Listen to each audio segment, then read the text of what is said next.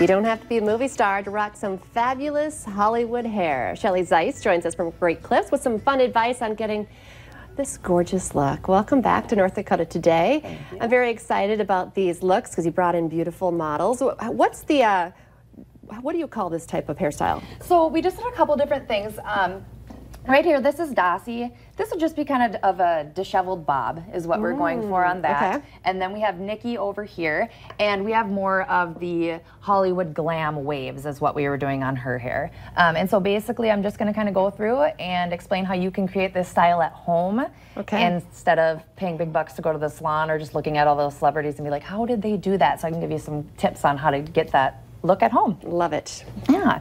So we can start with Dossie. So what we did with her, Dossie has fine hair, and sometimes people think, well, I can't do curls with fine hair because it'll just go flat or whatever. A um, couple of different things. You're going to want to use product. Uh, something in there before you blow dry. A big thing that people do when they're um, trying to get volume, they get that volume product and they don't realize you have to set it in. 90% of them you have to set in with a blow dryer to oh. get it oh. actually to get volume. Okay. So with hers, we just did some disheveled curls. Now what we did is we used a flat iron. Super easy. You're to take the pieces of hair. If you have finer hair, you want to use smaller pieces, and that way um, it gets more volume. The bigger pieces that you use, it's to chunk it together, and you're not to have as much volume. So you're simply to take the hair in pieces. You're to put your flat iron in there, and you're to pull down as you rotate it and that'll give you that longer kind of disheveled curl. So you're not going to get those Goldilocks curls that you're not really trying right. to achieve. And so is the size of your flat iron key on this? Or? Nope, you can use okay. any size flat iron. Obviously, if they're going to be bigger than this, your curls are probably going to get. Um, if you got shorter hair, you might want to use a little bit okay. less of a large one. But okay. this is plenty, plenty fine. But you did all of her hair with a flat iron. All of her hair with a flat iron. Yep. So you don't have a curling iron at home. You get a flat iron. It does double duty. You can straighten your hair you can curl your hair. I love it. Yeah. I kind of like the disheveled look too because you know it's.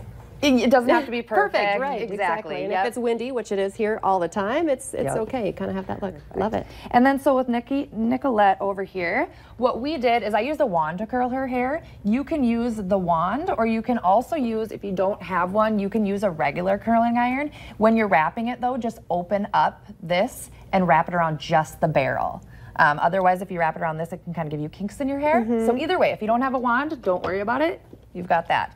Um, now this is kind of taking you back to that Hollywood glam style where you've got the nice ridges in the hair. It almost takes you back to those finger waves. Um, what we did with her is you're gonna do, you're gonna take the hair, you're gonna section it off starting from the bottom and work your way up.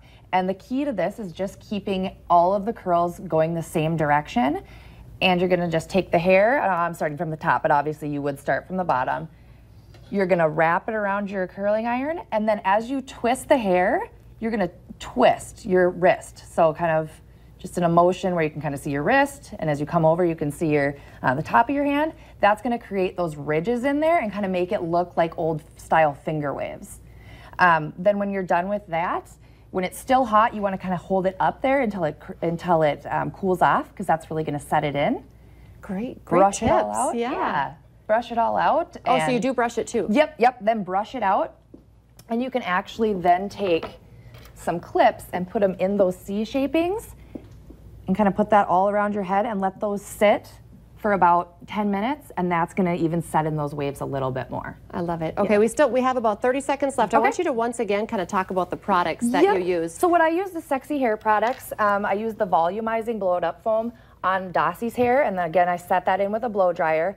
Um, you're going to want a good hairspray. You don't need, this isn't just for fine hair. No, right? no, this so can be for fine either hair. Either one. Exactly. It's not okay. too heavy for fine hair, but it's also not too um, too light for thick hair. I use some of the powder play to give her some volume.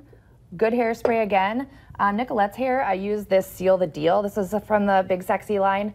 Um, it really helps to give shine to the hair and take away the frizzies when you're doing it. So always got to have a volumizing product, a good hairspray, something to protect from the heat.